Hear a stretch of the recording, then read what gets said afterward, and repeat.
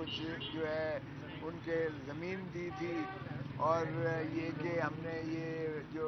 Transactions Malik रियाज साहब ने जो अलकादर यूनिवर्सिटी को जो रकबा और उसके अलावा जो कुछ कैश भी तरसील किया था उनके अकाउंट में बिल्डिंग में तो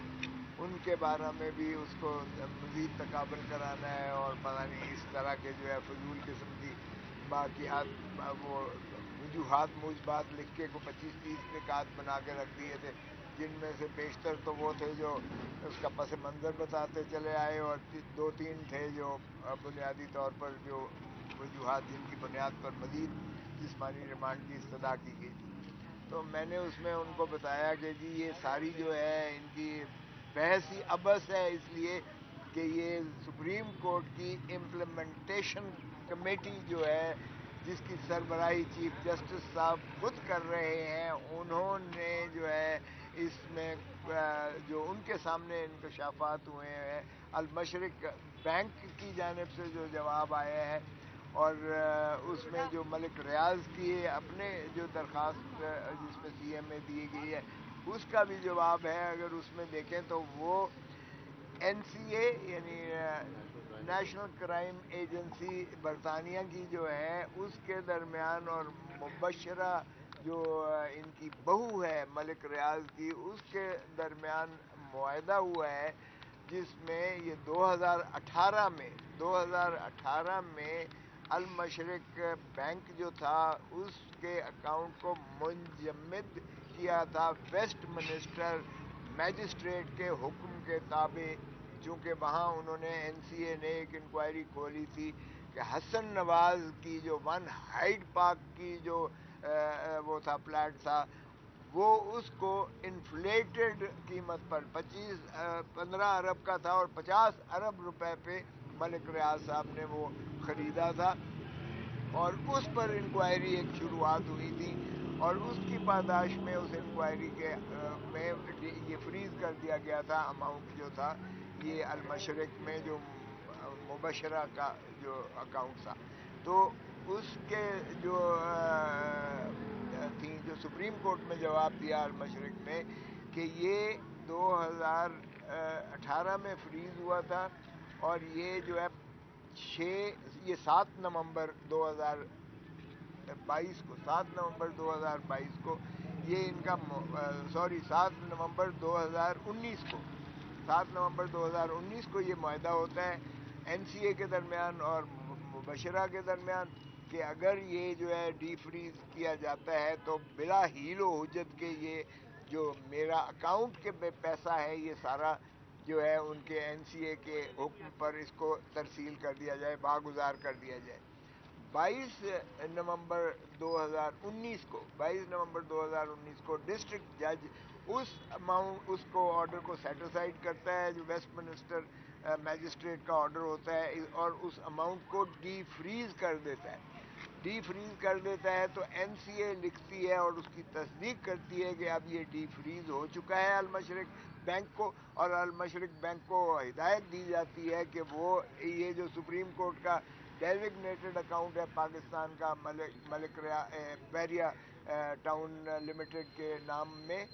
ये उसके जो है अकाउंट में ये ट्रांसफ़र कर दिया जाए सारा। अब इसका ना तो ये काबीना की मीटिंग तो जो है, मोहतरम इमरान खान की सरबराही में ये तीन दिसंबर को होती है। ये 22 नवंबर उससे पहले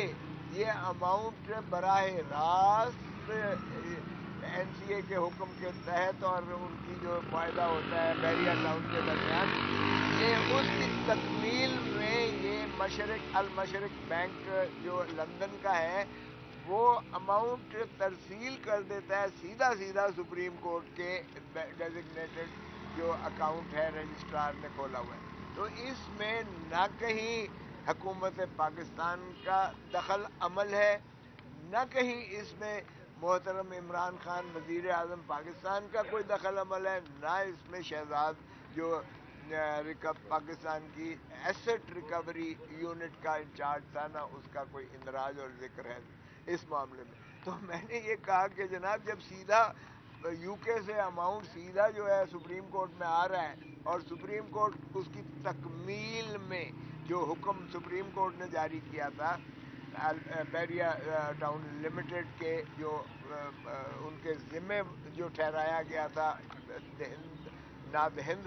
होने का जो जिम्मे दिया गया था कि उन्होंने ये जो रकबा सिंध में जो बैरिया टाउन के लिए ख़रीदा है, उसकी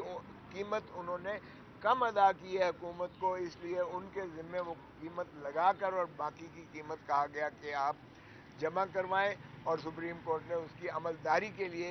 एक अकाउंट भी खोला और रजिस्ट्रार को हुक्म दिया कि रिपोर्ट करते जाए। सो उसमें जब बर रास्त उनके दरमियान एक माहा होता है तो इसमें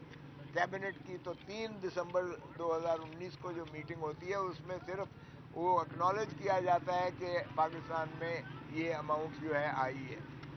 जबकि पाकिस्तान को उस वक्त सख्त फॉरन रिमिटेंस की ज़रूरत थी। सो ये पाकिस्तान के उसी अमाउंट अकाउंट में आया जो रजिस्ट्रार के पास है, जिसकी आज भी आज भी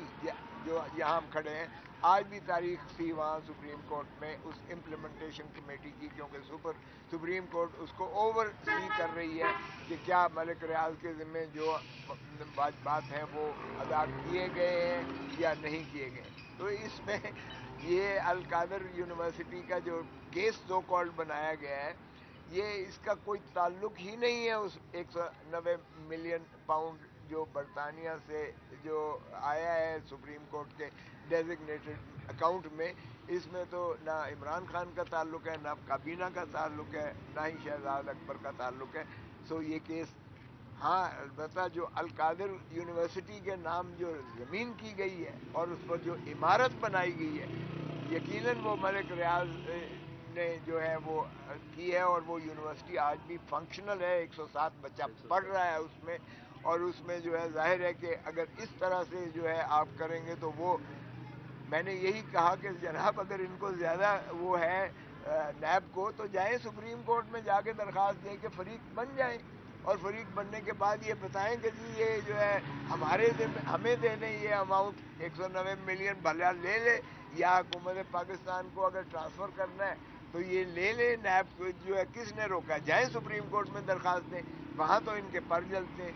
और इसी तरह अलकादर यूनिवर्सिटी की बात करते हैं तो वो यूनिवर्सिटी वहाँ ज़मीनी हकाइक के तौर पर मौजूद है। अगर आपको ये है कि कोई इसमें कोई हुकूमत पाकिस्तान का पैसा है या कोई मलिक रियाज ने बतौर इफ्जाने के या किसी तौर पे दी है तो वो आप बेशक उसको आप ले लें और यूनिवर्सिटी को तबाह कर दें, बच्चों को जो है वहाँ निकाल दें। लेकिन इस तरह से जो आपने ये हरकत, ये करते हैं कि इनको दी है नैब को अब इस वक्त कैफियत ये है कि लोगों ने डोनेशन देना बंद कर दी हैं और यूनिवर्सिटी के तलबा जो है वो उस अजियत से गुजरेंगे जिसमें इस को तनख्वाह देना मुमकिन नहीं होगी और ये मुफ़्त तालीम मुफ़्त तालीम उनको दी जा रही है। रिहाइश है, उनका खुराक है, उनका सारा कुछ जो है हर चीज़ मुफ़्त दी जा रही है तो फिर ज़ाहिर है कि सफ़र करेगा तो बच्चा सफ़र करेगा, सफ़र करेगी तो तालीम सफ़र करेगी म्यार गिरेगा। और ये जो मोहतरम इमरान खान साहब के जहाँ तक चैरिटी प्रोग्राम्स का ताल्लुक है तो वो उनके तीनों जो है कैंसर के अस्पताल